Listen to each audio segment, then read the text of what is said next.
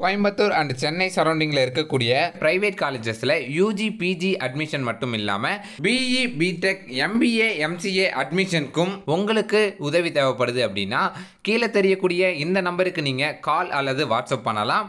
So admissions போய்கிட்டு இருக்கு. யாருக்கெல்லாம் அட்மிஷன் மற்றும் அட்மிஷன் என்கொயரி வேணுமோ மறக்காமல் கீழே இருக்கிற நம்பருக்கு கால் பண்ணுங்கள் முற்றிலும் இது ஒரு ஃப்ரீ சர்வீஸ்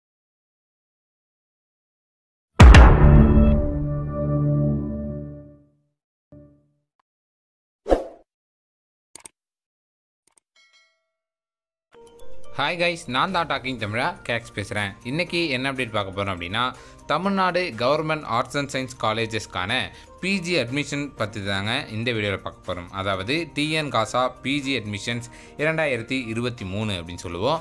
தமிழ்நாட்டில் இருக்கக்கூடிய கவர்மெண்ட் ஆர்ட்ஸ் அண்ட் சயின்ஸ் காலேஜஸில் ஆல்ரெடி யூஜி கோர்சஸ்க்கான அட்மிஷன் முடிஞ்சிருச்சு. இப்போது அதே கவர்மெண்ட் காலேஜஸில் அதாவது கவர்மெண்ட் ஆர்ட்ஸ் அண்ட் சயின்ஸ் காலேஜஸில் இருக்கக்கூடிய பிஜி கோர்சஸ் முதுநிலை பட்டப்படிப்பு அப்படின்னு சொல்லுவோம். அந்த பிஜி கோர்சஸ்க்கான அட்மிஷன் பற்றின நோட்டிஃபிகேஷன் ரிலீஸ் ஆயிருக்குங்க.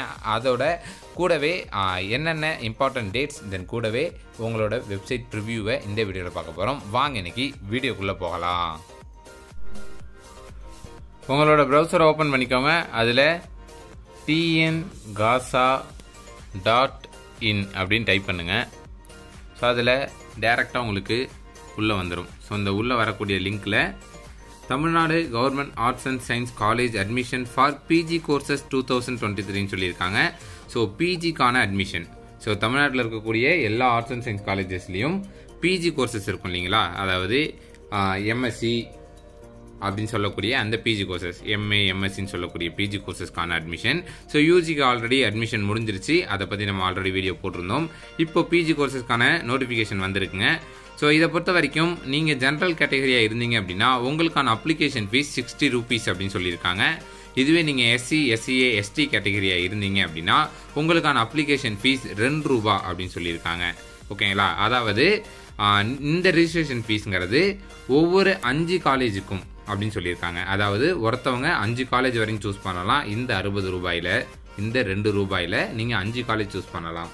இதுவே மோர் தென் ஃபைவ் போகும்போது அதுக்கு தனியாக நீங்கள் ஒரு ஐம்பது அறுபது ரூபாயும் அதுக்கு தனியாக ஒரு ரெண்டு ரூபாயும் நீங்கள் பே பண்ணுற மாதிரி இருக்கும் அப்படின்னு சொல்லியிருக்காங்க. ஓகேவா ஸோ இதில் வந்து கிட்டத்தட்ட நூற்றி ஒன்பது one nought nine so hundred and nine அரசு கலை மற்றும் அறிவியல் கல்லூரி அதாவது government arts and science colleges இதில் வந்து சேர்றாங்க. இதில் வந்து நீங்கள் ஒரே ஒரு காலேஜ் தான் நீங்கள் வந்து எடுக்கணும்லாம் கிடையாது. எல்லா காலேஜும் கொடுக்கலாம். அதில் ஏதாவது ஒரு காலேஜ் தான் உங்களுக்கு அலாட் ஆகும். ஓகேங்களா ஸோ இதில் என்ன சொல்லியிருக்காங்க அப்படின்னா applicant are requested to verify the eligibility form for the respective college or university website before selecting a course applicant without essential eligibility will be rejected by the respective college அப்படின்னு சொல்லியிருக்காங்க.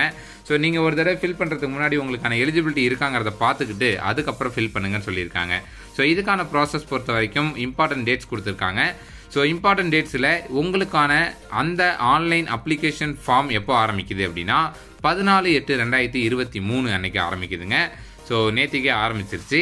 இதுக்கான கடைசி தேதி twenty two eight two thousand twenty three அப்படின்னு சொல்லியிருக்காங்க.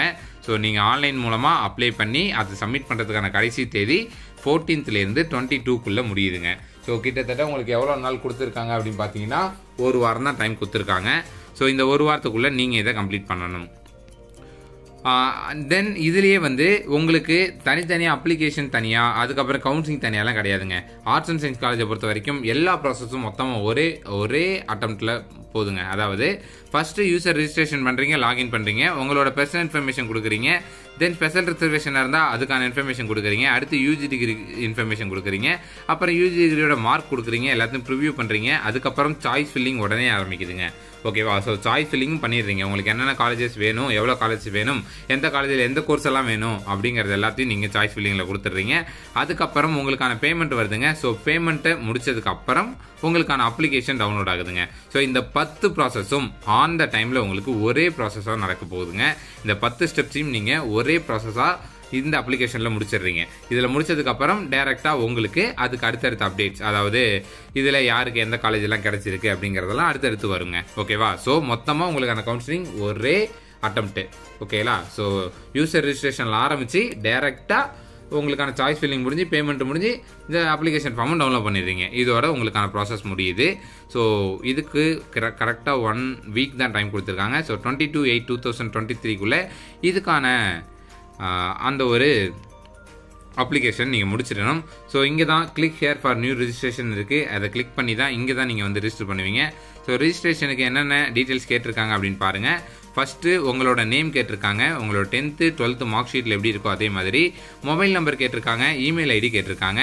தென் அந்த email ஐடியை confirm பண்ணிவிட்டு டேட் ஆஃப் பர்த் கேட்டிருக்காங்க. அதை கொடுத்து உங்களுக்கான பாஸ்வேர்டை நீங்களே க்ரியேட் பண்ணி சேவ் கொடுத்துட்டு ஒன்ஸ் சேவ் பண்ண உடனே உங்களுக்கு லாகின் பட்டன் ஓப்பன் ஆயிரும். ஸோ இந்த லாகின் பட்டனில் டேரெக்டாக நீங்கள் இப்போ கொடுத்து ரெஜிஸ்டர் பண்ண அந்த இமெயில் ஐடி பாஸ்வேர்டு கொடுத்து நீங்கள் லாகின் பண்ணி உள்ளே போய் அவங்க கேட்கக்கூடிய எல்லா டீட்டெயில்ஸையும் ஃபில் பண்ணுற மாதிரியே இருக்குங்க. ஸோ த சேம் ப்ராசஸ் இது ஒரு சின்ன ப்ராசஸ் ஆனால் சாய்ஸ் ஃபில்லிங்கும் சேர்ந்து வரதால கொஞ்சம் பெரிய ப்ராசஸ் நீங்கள் ஈஸியாக முடிச்சிடலாங்க. ஓகேங்களா? ஸோ இதுதான் நீங்கள் அப்ளை பண்ணுறதுக்கான வழிமுறை.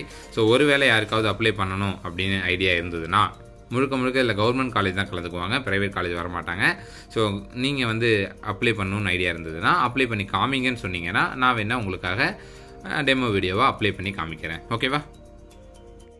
இது வரைக்கும் நம்மளோட சேனலை சப்ஸ்கிரைப் பண்ணல அப்படின்னா மறக்காமல் சப்ஸ்கிரைப் பண்ணிக்கோங்க. அப்போ தான் நான் தரக்கூடிய எல்லா அப்டேட்ஸும் உங்களுக்கு அடுத்தடுத்த நோட்டிஃபிகேஷன்ஸாக வந்துக்கிட்டே இருக்கும். தென் அடுத்த வீடியோவில் காலேஜஸோட லிஸ்ட்டை நான் உங்களுக்கு எக்ஸ்பிளைன் பண்ணுறேன்